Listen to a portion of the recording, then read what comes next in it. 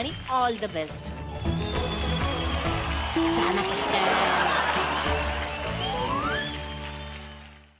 आपल्या आयुष्यात असणाऱ्या प्रत्येक स्त्रीचं रूप किती वेगवेगळं असतं ना? आणि ते रूप आपल्याला नेहमीच अनुभवायला मिळतं. कधी ती बेभान वारा असते कधी चमचमता तारा असते. सगळं जग तिच्यापासून सुरू होतं आणि तिच्यापाशीच येऊन थांबतं. तिची रूप जरी वेगळी असली तरी आपल्या आयुष्याची तीच एक प्रेरणा असते. आता ती नेमकी कशी असते हे सांगायला येतोय. नाशिकचा वीर सुराणा.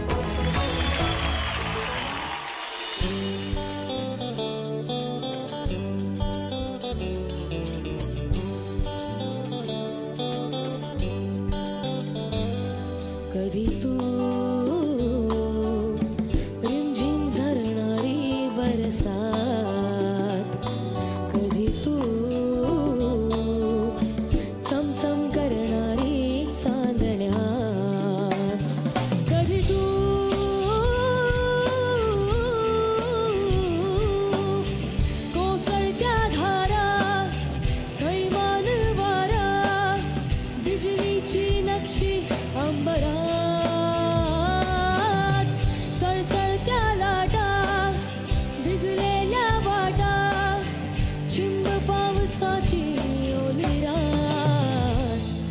कधी तू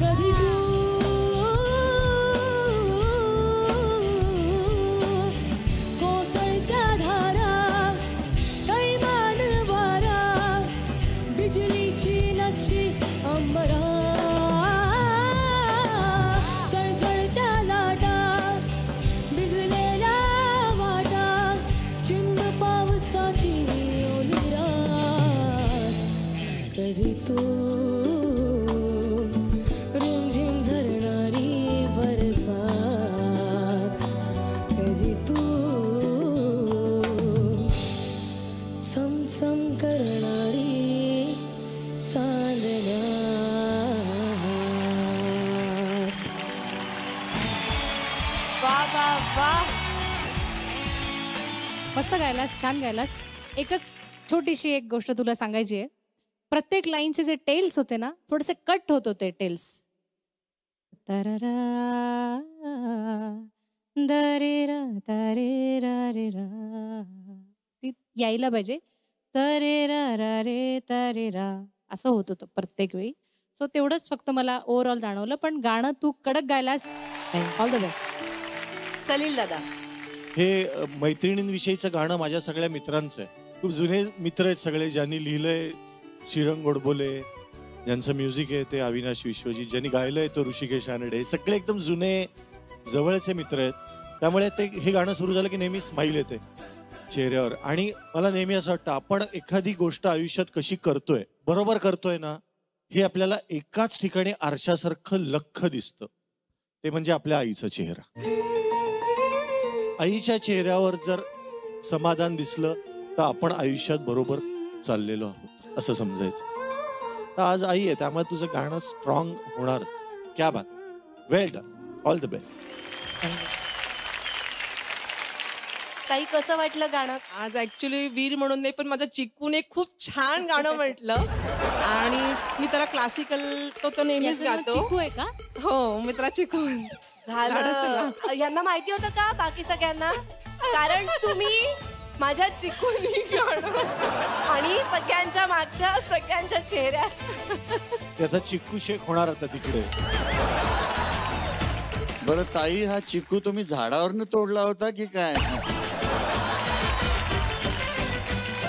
लहानपणापासूनच आम्ही त्याला चिकू आता तो बोलू देत नाही आम्हाला चिकू. नाही नाही म्हणजे मी गंमत केली हो. पण तो नेहमी क्लासिकल गाताना तर मी नेहमीच ऐकते. पण त्याचं आज ते रॉकस्टारचं गाणं जो परफॉर्मन्स होता ना तर म्हणजे त्याच्यात इथून जी इम्प्रूव्हमेंट झालेली बघितली ना मी मला खूप सॅटिस्फाईड झाली. खूप चेंजेस झाले त्याच्यामध्ये. असा तो एरवी खूप पसारा वगैरे घालणारा मुलगा आहे. कधी सगळं अस्तव्यस्त ठेवणारा आहे तो. पण इथं गुरुकुलमध्ये त्याला बरीच सवय लागली. त्याच्यामुळे ते खूप छान वाटलं. नाही पण वीर आई एवढं भरभरून बोलतीये. तू सुद्धा आईला खूप दिवसांनी बघितलंय ना? खूप दिवसांनी भेटतोयस. हो. आईला काय सांगशील? मला खूप आठवण आली तुझी.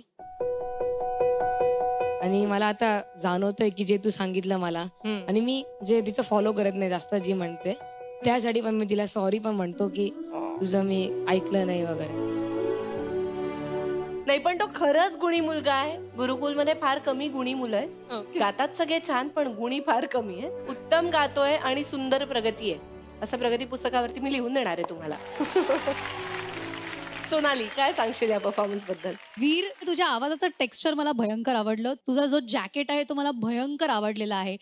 तू एरवी पसारा करतोस पण जॅकेटवर पिसारा फुललाय. त्यामुळे मला तुझं लुक तुझी तुझं स्टायलिंग तुझी गाण्याची पद्धत तुझा आवाज सगळं खूप आवडलं. आणि याच्यानंतर मी येणार आहे अर्थातच गुरुजींकडे. की जसा मोर वेळीच पसारा पसरवतो ना तसं तो स्टेजवर आला की त्याचा आवाज फार सुंदर आहे फारच सुंदर आहे आणि त्याचा आता आवाज गोडच होत जाणार.